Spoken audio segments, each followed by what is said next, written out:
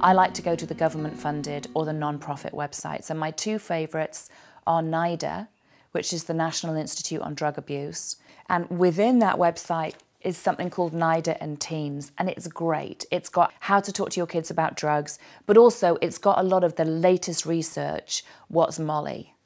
They will tell you what it is and what it isn't. And also how children are going to use the medication that is in your medicine cabinet right now. If you go upstairs, you will be able to find things that, if used inappropriately and off prescription, have a euphoric effect. And then the other wonderful resource is the um, Partnership for Drug Free America, and they have a whole section on their website aimed at teens and at parents.